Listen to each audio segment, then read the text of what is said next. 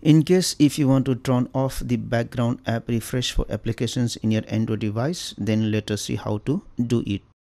But before that, let me tell you that background app refresh is important so that the applications can receive notifications about the new messages or the applications can receive update and then automatically update in the background. But if you want to disable the background app refresh, then what you will do? You will go to settings at first. Scroll down and go to about phone. Go to software information. And then you will tap on this build number for seven times in order to activate the developer options. One two three four five six seven. So developer options has been activated in my android device. I will go back. Again i will go back so i have gone to the settings option and if i scroll down at the bottom i can see there is developer options. So i will open this developer options.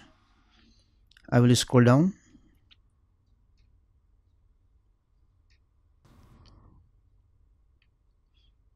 And under applications i have to look for the two options. One is background process limit and the other one is background check now if you want to disable the background app refresh function for all the applications then go to this option background process limit. And then you can select this option no background process. So what happens?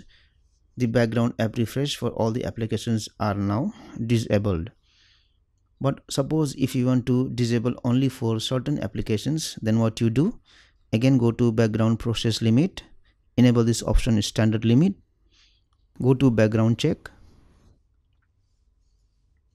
And you can see all the applications for which the background app refresh is right now enabled. Now it is better not to disable the background app refresh for system applications.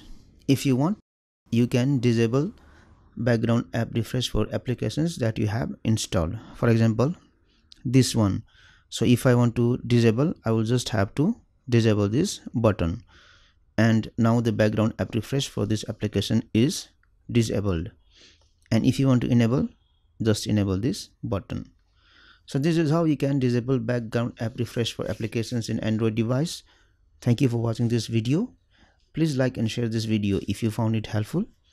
And also click on the subscribe button and hit on the bell icon to get the notification of our latest videos for free